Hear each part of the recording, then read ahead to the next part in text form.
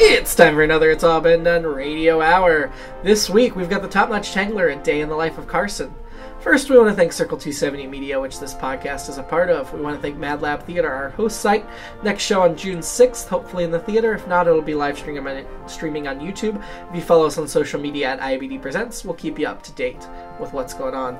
We also want to thank our parent network, It's All Been Done Presents, founded at IABDpresents.com. It's got written work, video series, and more. Uh, the podcast Dirty Story Night is back with new episodes after an 18 month hiatus, so check out new episodes of Dirty Story Night. Now enjoy this Top Notch Tangler episode. Next, we have the Top Notch Tangler, A Day in the Life of Carson. As we begin, we're in the middle of a bar fight. Keep in mind, this is just slightly before Carson acquired his superpowers. Break it up! Now, just break it up! Oh, I'll break this guy, the low life. you couldn't break a beer bottle on a stone floor. Could so. Could not. Could so. Oh, really? You are out of control. Officer Uhrata, stop them. I'm trying, sir. Would you two just knock it off? Well, her first. He started it. I don't care who started it. I'm ending it. Oh, I'm gonna end this guy right here and right now. I'd like to see you try. Well, I wouldn't. I want to see you both stop your fighting. Lieutenant Smith, where is that backup? It's coming, Officer Uhrata. Oh, good, because this scumbag needs to be brought to justice. There is no need for name calling here. If you guys would. I'm here!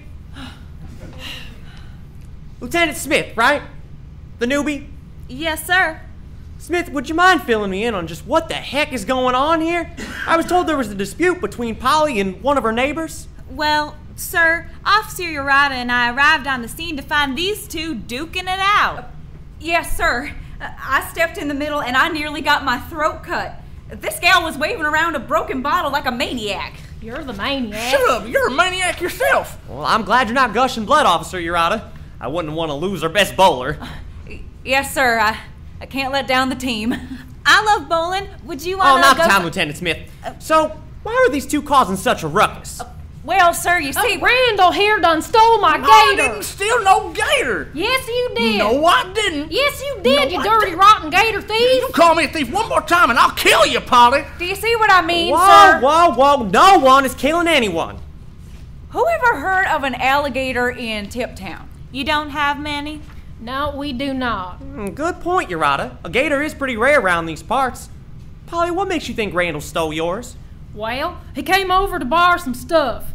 Shortly after he left, I noticed my gator was missing. It had to be him. It wasn't me. It was so. We'll get to you, Randall. Now, Polly, what did Randall ask to borrow? Uh, sir, I don't see why that matters. Officer Uhrata, if you ever want to make detective, you gotta get all the facts. No detail is too small. You never know what information you need until you don't have it. Thank you for the lesson, sir. We'll make sure to take it to heart. Yeah, absolutely, sir. So, Polly, what did he ask to borrow? I mean, I don't know. We wanted You to. shut your mouth, Polly. You don't tell him nothing. Open your mouth, Polly. What did he ask to borrow? Ah, jeez. He wanted to borrow a machete, a tarp, some bleach, some lime, a shovel, and a lantern.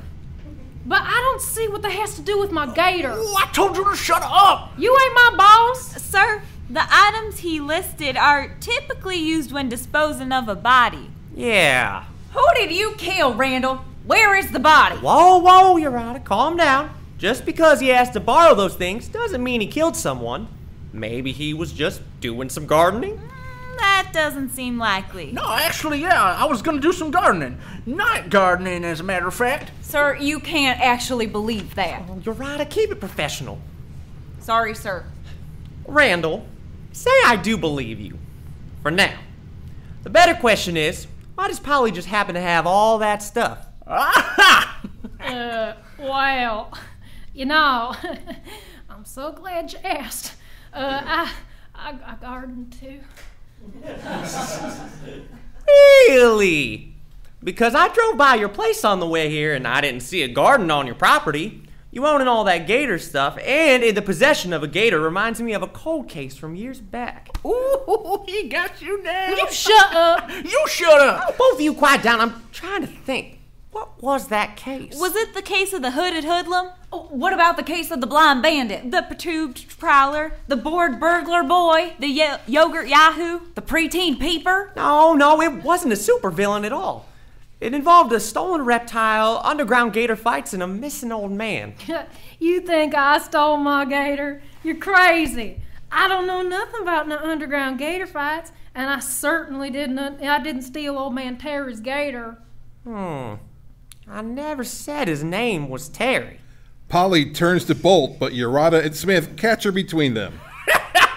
Serves you right accusing me of things. Don't be laughing too hard, Randall. Smith, cuff him too. Yes, sir. Yeah, they got you too, gator thief. What, what, what, what, why me? Yeah, sir, I don't get it. Why him? Randall, you're under arrest for the theft of Polly's pet. I noticed you have gator-shaped chew marks on your peg leg. Oh, what? No, that's uh, uh, that's just from my dog. You know, I, I, I definitely don't run any underground gator rings either. So, Oh, don't try to fool me, mister. I know a gator's teeth marks anywhere. oh, dang nabbit. Drop the bottle, Randall. Polly, seeing Randall's arrest as just the distraction she needs, pulls out of Uhrata's hands and, in one smooth motion, grabs the broken bottle from Randall and stabs Officer Uhrata in the leg, right through her femoral artery. Got her. Uhrata, no!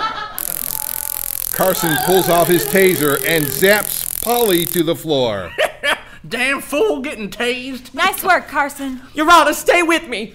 Officer Uhrata. Officer Smith, get Polly and Randall to processing. I've got Uhrata. Will do, sir. Is she gonna be all right? I don't know. Tell my wife I. I. I never liked her stuffing. Too dry. Uhrata! No!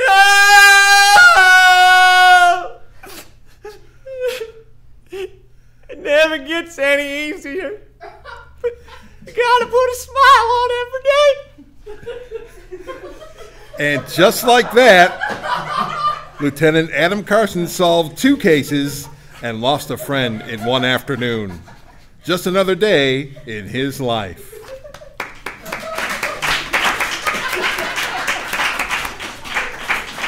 It's all been done Radio Hour number 234. The Top Notch Tangler number 32, A Day in the Life of Carson, was written by Shane Stefanchik and directed by Kristin Green.